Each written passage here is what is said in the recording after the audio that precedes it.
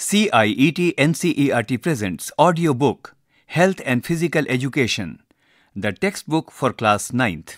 Chapter 11 Diet for Healthy Living Page 161 11.1 Introduction Food is our basic need. It nourishes our body and maintains our health.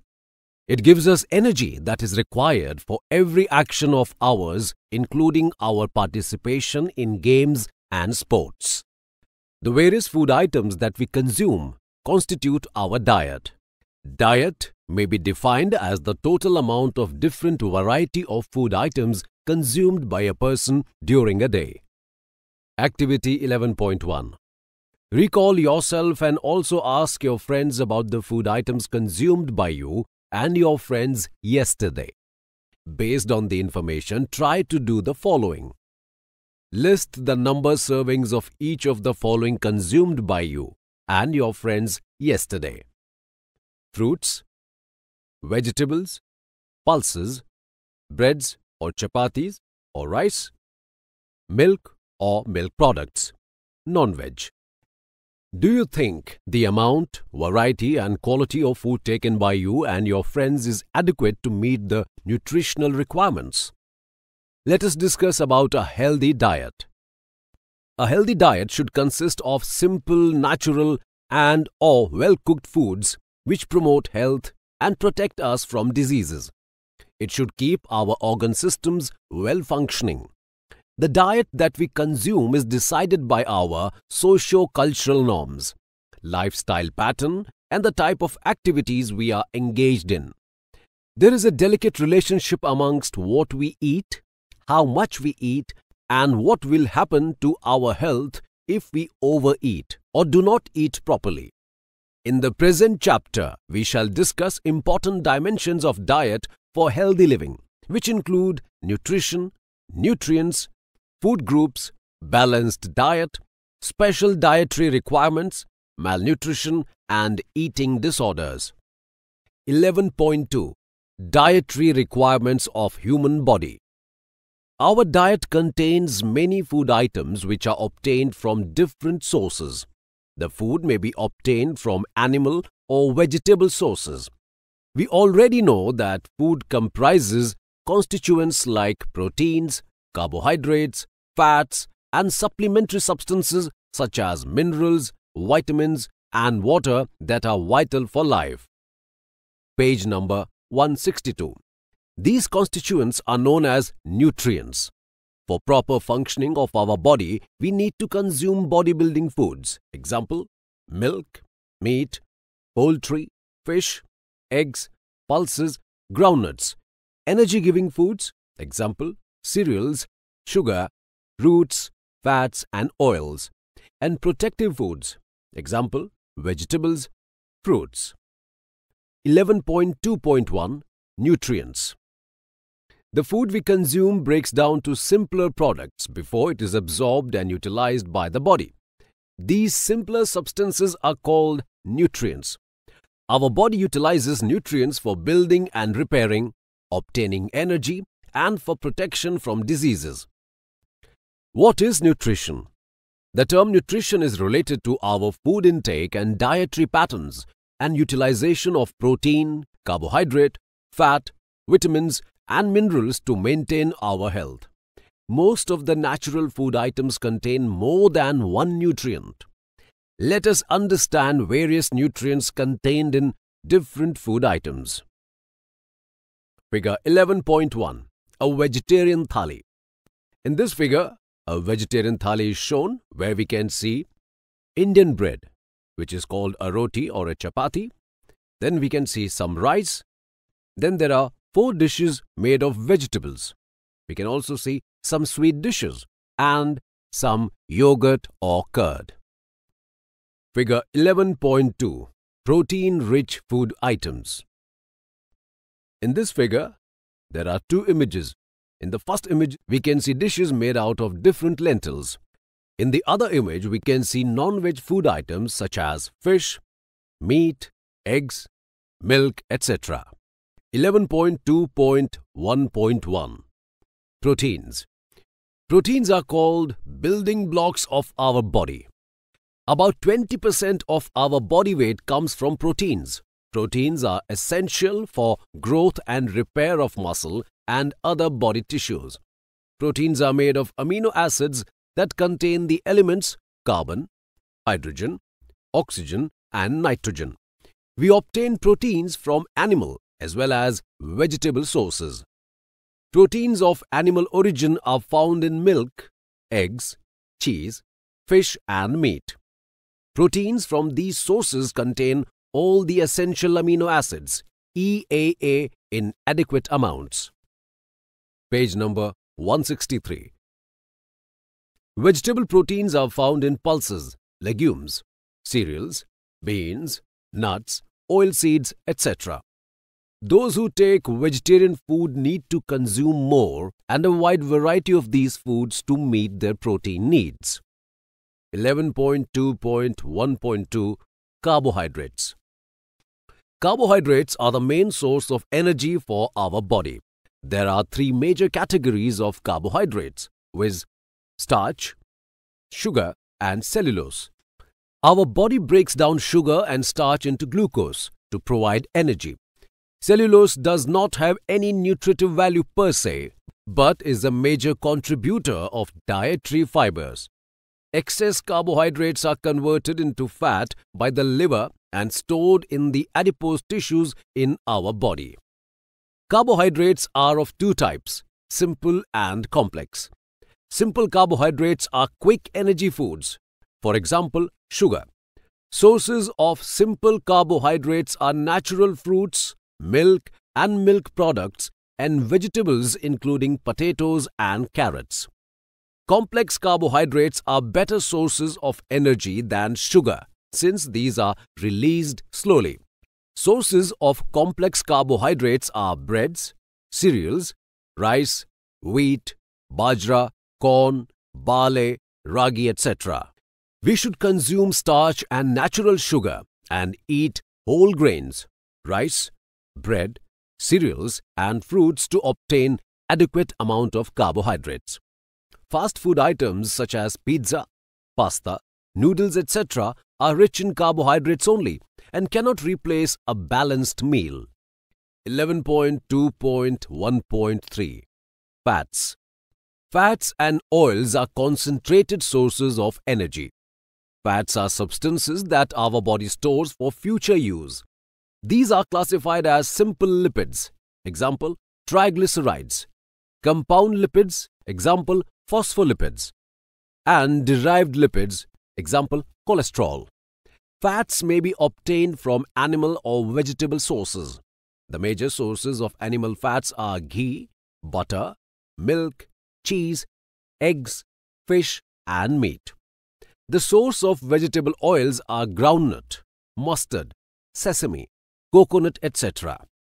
Excess carbohydrates are converted into fats. Fast food items like pizza, samosas, burgers are rich sources of fat. Therefore, children who consume only fast food items tend to become obese. Figure 11.3 Carbohydrates and Vitamins In this figure, there are three images. The top one has different vegetables and fruits. We can see fruits like banana, pineapple, apple, orange, grapes, guava, etc. In the second image, we can see some vegetables like pumpkin, radish, tomatoes, potatoes and cabbage. In the third image, which is at the bottom, we can see a loaf of bread and we can also see a plate which has lentils, rice and Indian bread called chapati or roti. Now moving on with the chapter. 11.2.1.4 Vitamins Vitamins are organic substances that we require in adequate quantities for good health. Our body, however, cannot synthesize them. Therefore, we need to consume their natural sources, such as fruits and vegetables. Page number 164. Vitamins are divided into two groups fat soluble vitamins, vitamins A, D, E, and K, and water soluble vitamins, vitamins of B group and vitamin C. Each vitamin has a specific function and its deficiency leads to a particular deficiency disease. 11.2.1.5 Minerals Minerals are the nutrients that are very essential for proper growth and functioning of our body and are required in small amounts. Calcium, chlorine, copper, fluoride, iodine, iron, magnesium, manganese, phosphorus, potassium, sodium and zinc are essential mineral nutrients. We will explain some of them now. We have a table 11.1 Vitamins, Sources, Need and Deficiency Disease. Now we have this table which has four columns. The top column reads Name of vitamin, Sources, Need and Deficiency Diseases. Then under that we have different vitamins. Vitamin A. Its sources are milk, butter, egg, carrots, cod liver oil, tomatoes, pumpkin, green leafy vegetables. Why is vitamin A required? Need of vitamin A. Normal growth and to keep eyes and skin healthy. If it is deficient, then night blindness and irregular growth of teeth happens. Now moving on to vitamin D. Its sources are cheese, butter, milk, green vegetables, fish liver oil, sunlight. Need Formation of strong bones and teeth. Deficiency disease, rickets. Vitamin E. Vegetable oils. Spinach. Lettuce. Turnip leaves. Butter. Milk. Whole grains. Nuts. Seeds. Leafy vegetables. Need.